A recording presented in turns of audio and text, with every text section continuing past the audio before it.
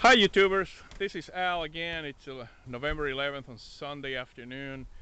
Uh, we went to church early this morning and then we ate and did a few more things. Uh, it's been a while since I've done an update.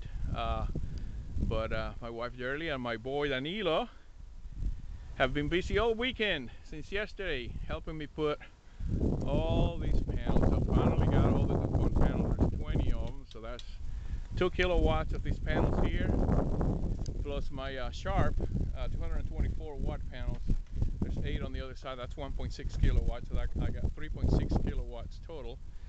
And I'll show you later how the uh, uh, inverters for each one of those Sharp panels are putting out but I'm getting one and a half kilowatts at peak noon uh, about one o'clock or so. It lasts about two hours at peak power and then obviously goes up and down because uh, you know I'm not tracking uh, so I'm getting almost full power out of these things in the wintertime, which is uh, awesome.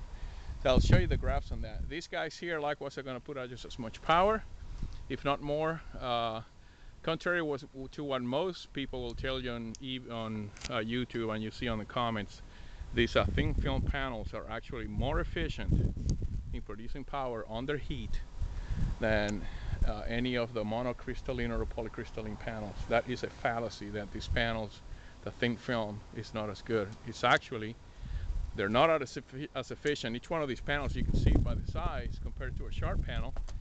Uh, these DuPont panels are thin film. They only produce 100 watts.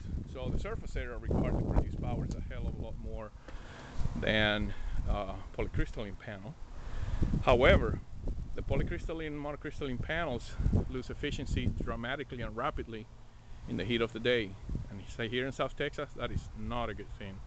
Because nine times or nine months out of the year, we are, you know, 85, 100, 105 degrees, you know, usually north of 80 degrees. And these panels here actually produce more power when they're hot than when they are cold. So these panels will make me a lot more money in the long run than those. And yes, they occupy a lot more space. That's two kilowatts. That's 1.6 kilowatts big difference. We're very proud of you, Daddy. I'm proud of you too, guys. so the Lord has blessed me tremendously by having such a good wife and such a good boy that help out so much. They've been here on the roof, you can see, doing plenty of work. Danilo's been doing a lot of work, helping out with the panels and handing me all the tools and the screws. And mom, she's been busy holding the panels while I put them in place and doing some of the wiring that you see there. So she's been very busy and actually giving me a lot of work, a lot of a lot of hand with uh, a lot of help with the boards here. So she's been a really good trooper. Hi guys, I love you. I love you too. so this is the update for now. I will uh, do another update sometime by next weekend in which I will tie all these things together, finally uh, start bringing all the cables in and tie it all together.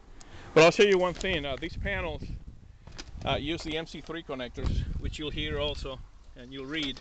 They're not as good because they'll say, well, they'll come off, and that's the reason they went to MC4s. And therefore, the panels with MC, MC3 cables or connectors are cheaper. Don't believe anything that you read until you do your own research. Uh, normally, the, the people that have had problems with MC3 connectors because the plain people don't know how to use them.